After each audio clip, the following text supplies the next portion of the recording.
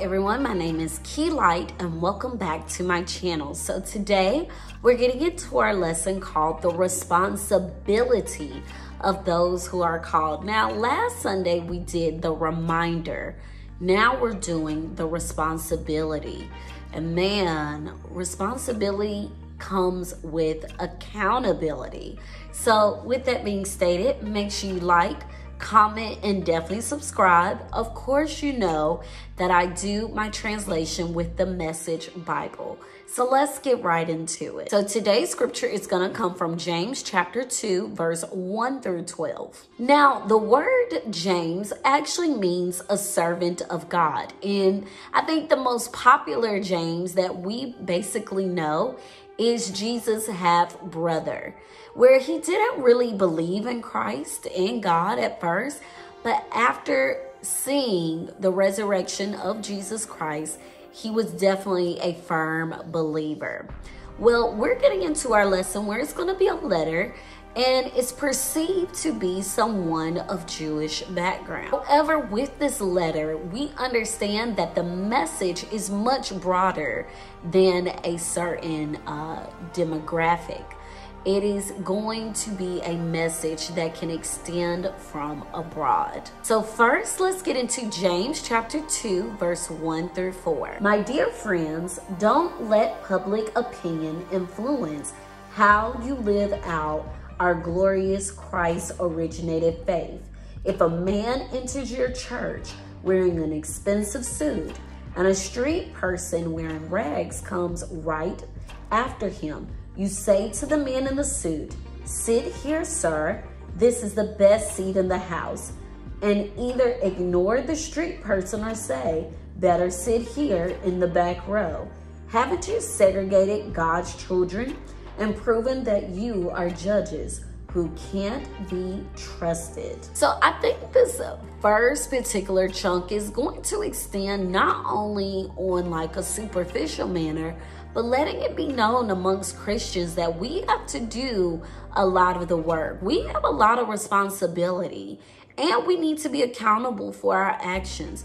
He first says, don't let the world judge others don't let the world influence you about what they believe Christ is to be called. There are lots of public opinions about how Christians should behave, how Christians should act, what we should do, what we look like, what we should wear all the time.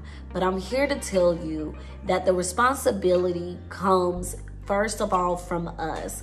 And I actually read this wonderful devotional that brings back this segment about how Christianities are the most divided in churches at 11 o'clock. Sometimes we have our fellow worshipers at churches where it is sometimes segregated, where we only go to a particular church because most of the people will look like us.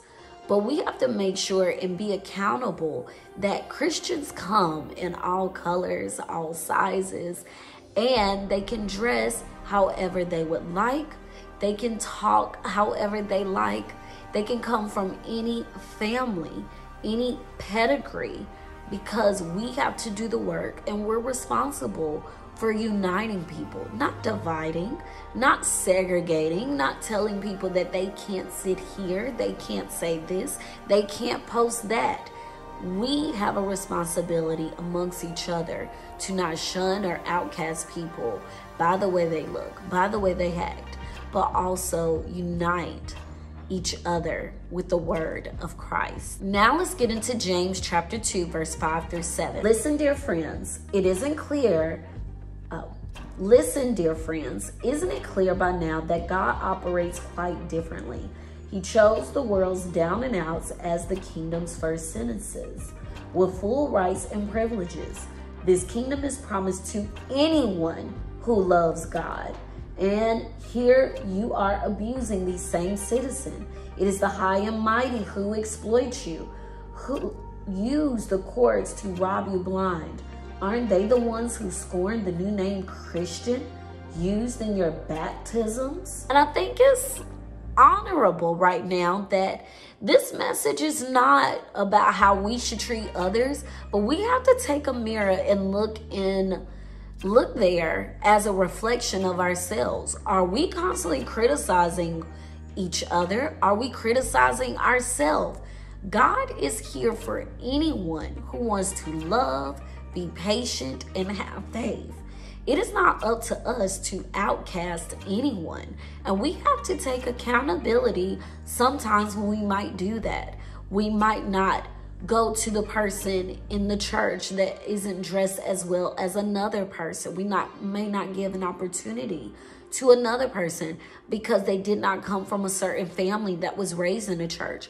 We have to take accountability and make sure to right our wrongs, to make sure to bring people together. Now let's go to James chapter 2, verse 8 through 11. You do well when you complete the royal rule of scriptures. Love others as you love yourself.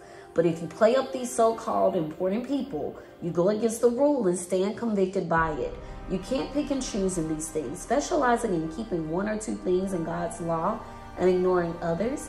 The same God who said don't commit adultery also said don't murder.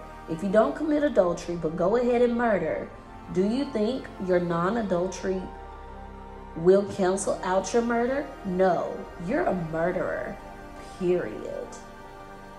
Mm, period.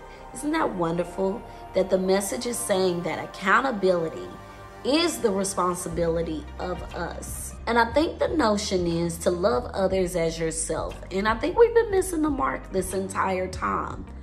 Maybe sometimes we criticize other people. It's because we may not truly love ourselves.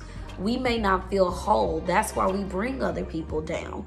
We may not feel that we are in the right standing, so we criticize other people in the end.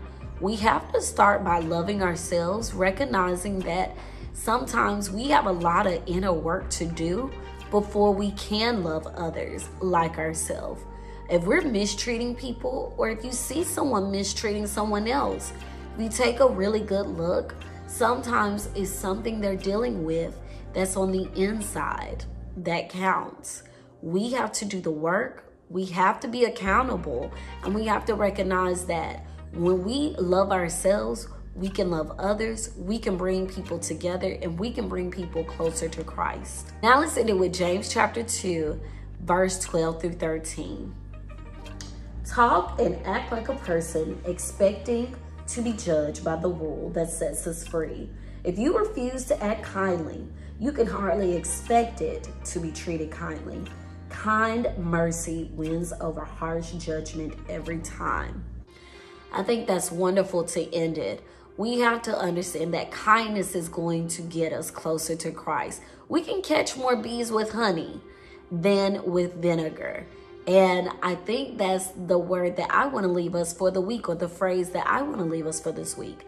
We have to walk in kindness and we have to be accountable and loving ourselves so that we can love others. I hope you all enjoyed the Sunday school lesson for this week. Make sure you like, comment, and definitely subscribe.